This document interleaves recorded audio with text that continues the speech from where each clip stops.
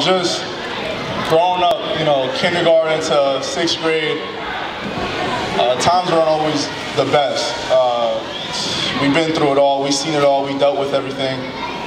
And the strength that this woman has right next to me is beyond remarkable.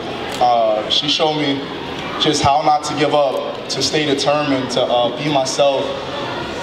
Um, and I, I never knew where my life was going to be taken. I never knew when my, my life could have ended.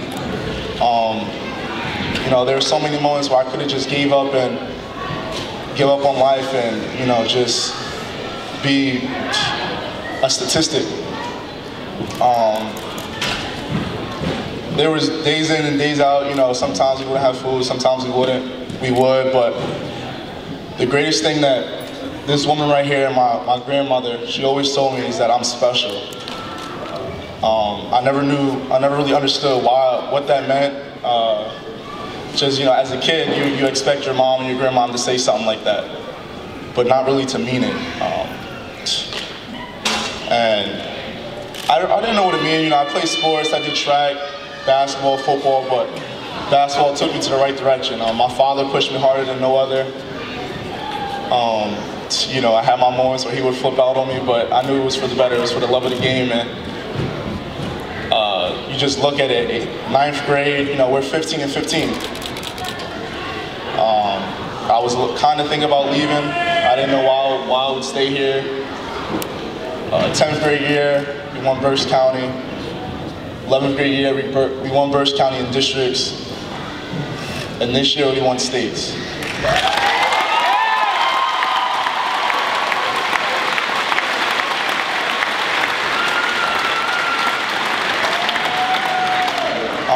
I'm still trying to figure out who I am, what, what I want to do with life, but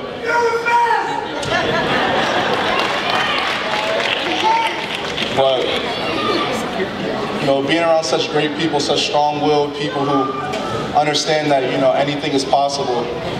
Um, you know, I'm just the man. I'm just the the man above. I'm the I'm the messenger.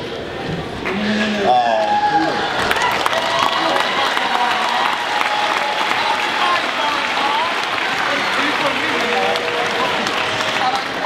didn't know what my message was. I didn't know what I was supposed to do.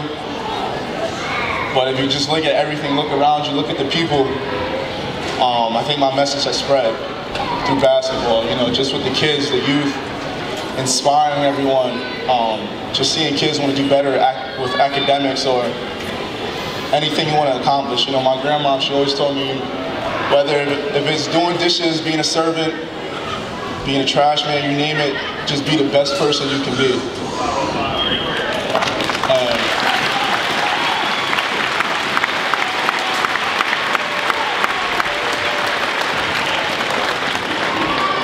how much we progressed as, as a community, how much we progressed as people, my teammates, my family, my coach, it's, it's nothing like that. I mean, you know, I go day in and day out and I just look at everyone, look how beautiful everyone is, the smiles that this basketball team puts in everyone's face and it's, it's remarkable. But our time, our time is up for Reading, Pennsylvania and my challenge just for everyone in the community is whatever you do, just give it your all. Whatever you want to do, whatever you want to accomplish with, just don't give up. Um, you know, sometimes we, we, get that bad rap, but like Coach P said, we're on the, we're on the monopoly board for a reason, and that's through hard work and dedication. I believe that every single one in this in this gym can change the world, and I just thank everyone for the the love, the determination, the respect for what we did and what we accomplished as as a community because this isn't for the basketball team, this is for you guys. And um,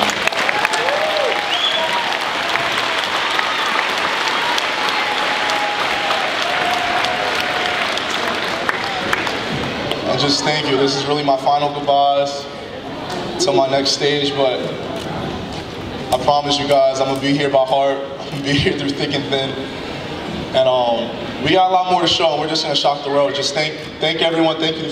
Thanks to my mom, my grandma, the community, my grandfather. Just thank everyone. Um, Red Knights for life.